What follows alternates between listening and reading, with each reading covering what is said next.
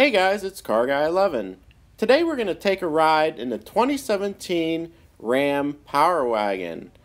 We're going to go around this cool obstacle course Ram setup for the 2017 Chicago Auto Show, and we're going to see how this baby does around the course. How y'all doing? Good. All right, hop on up. This is high, alright. Oh yeah. How y'all doing today? Good. Good. Yeah, make sure everybody's buckled up before you get the show on the road. Oh yeah. I know. this is the uh, This Power two- Wagon? This is 2017 2500 Power Wagon. Everybody good? All right. My name is Brett, and I'll be taking you along the uh, Ram truck territory today. All right, here the first obstacle that we're going to is uh, testing out the stability, the uh, shocks, as you will, uh, the suspension. We have the five link coil spring suspension, and on the Power Wagon, you also have the Bilstein shocks on all four corners. And It seems pretty smooth. Mm-hmm. Uh, here we go. We have the uh, 30 degree hill. About we'll be sitting about 16 feet up. We're gonna test out the engine here. Underneath the hood, you have a 6.4 liter Hemi V8, 410 horsepower, 429 pound foot of torque. Barely had to press the pedal at all. See a lot of showroom from up here. Make sure you make your way over the Jeep over there. It's a pretty cool track. As we descend, you'll feel the uh, four anti-lock disc brakes. You also have the uh, downhill assist button right here. Press that. It'll uh, descend for you. You don't even have to put your foot on the brake. You just uh, manually, right here, you press you know, how fast you want to go down that hill. This is in low range? hmm This is in low right now. All right, here we go. Here's another 30 degree side hill. We're testing out the frame here. As you'll see, there's no bending, no twisting. Very strong, strong steel frame. If you want to, you can try to shake it back and forth so you can try to tip it. Yeah, it's not going anywhere. You have a wide wheelbase and lower center of gravity that helps this out. Wow. All right, we're gonna go to uh, the obstacle just for the 2500 here. Gonna test out the torque on the engine and see if we can lift up this 5,000 pound wall. All right, we'll get hooked up.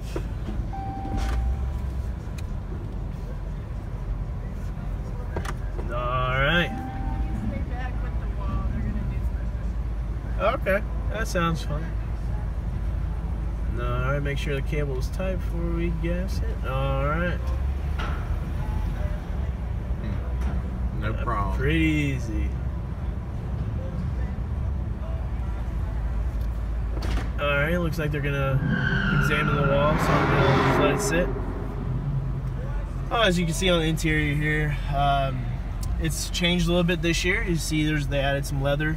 Uh, used to be just cloth in the Power Wagon. If you feel on the back of your seats, you'll feel the tire tread is the exact tires that we Oh. have on the truck. Of course, you have USB input here, your auxiliary inputs. Uh, you also have AC, DC outlets in here, so you can charge about anything you need to. On here, you have the 8.4 inch uh, LCD touch screen. Here you can control media, you control your uh, heated seats, heated steering wheel. Helps out especially in this part of the country. Doesn't really help me out in Texas. You know, I don't really need the heated steering wheel that much, that often. Yeah, the cargo camera, so you can look back uh, into your uh, factory spray and bed liner right there. Oh yeah, very nice. Do they warranty the bed liner? Mm-hmm. Yep. Yep.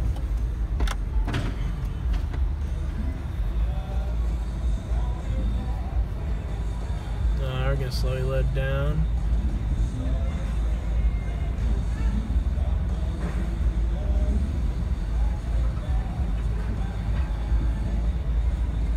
Oh, do you have any questions so far? Um, which the automatic in this one? It's the uh, six-speed automatic um, RFE, I believe, uh, but I will double check on that. Make sure. Um, Can't get the eight speed with that. uh, no, now it's more heavy duty the six speed. Yep. So your choices are rear lock or front and rear lock. You can't just do a front lock.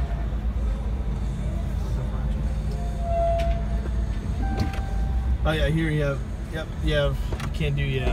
I see you in front there. Oh wow. Axle lock there. All right. You can get uh, an option as the uh, backup camera and the uh, tailgate. This one does not have it on. This one.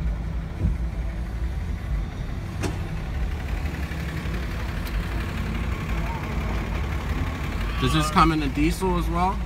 Uh, no, not the Power Wagon. The diesel's a little too heavy for the Power Wagon.